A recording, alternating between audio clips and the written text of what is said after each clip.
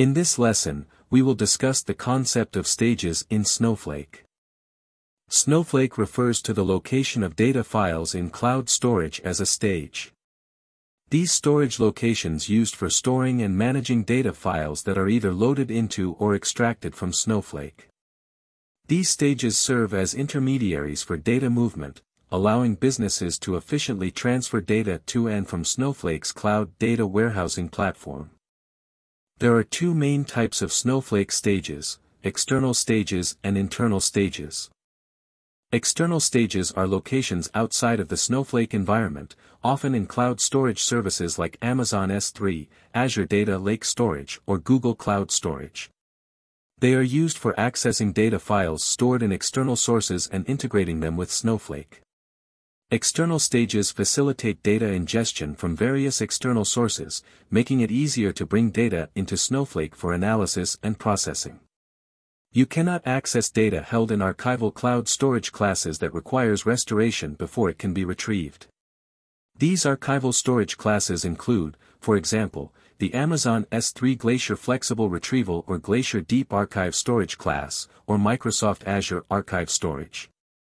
A named external stage is a database object created in a schema.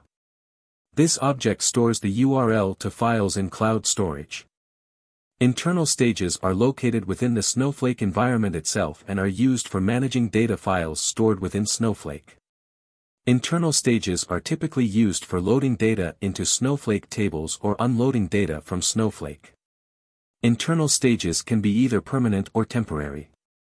Snowflake internal stages are further classified into User stages Table stages Named stages by default, each user and table in Snowflake is automatically allocated an internal stage for staging data files. In addition, you can create internal named stages. Snowflake offers several data loading commands and tools to facilitate the process of loading data into Snowflake tables. Some of the key data loading commands and tools in Snowflake include get command, put command and copy into command. Please note that Get and put commands cannot be executed from the Worksheet tab page in the Snowflake web interface. Instead, use the SnowSQL command line tool to upload data files from your local machine into Snowflake stages. The get command retrieves data files from an internal or external stage to a local client machine. The put command is used to upload data files from a local client machine to an internal or external stage in Snowflake. The copy into command is used for bulk data loading into Snowflake tables. It allows you to load data from external or internal stages into a target table.